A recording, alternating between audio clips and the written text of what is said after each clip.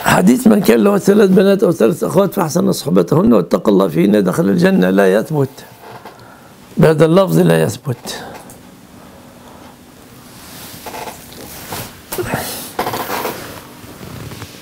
حرك